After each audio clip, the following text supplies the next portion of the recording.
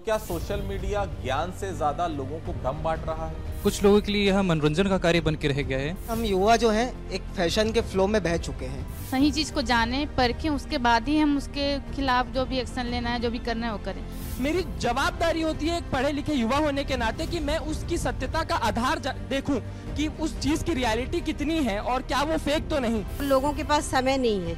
समय की वजह से वो जो सच्चाई है उसको जानने की कोशिश नहीं करते हैं।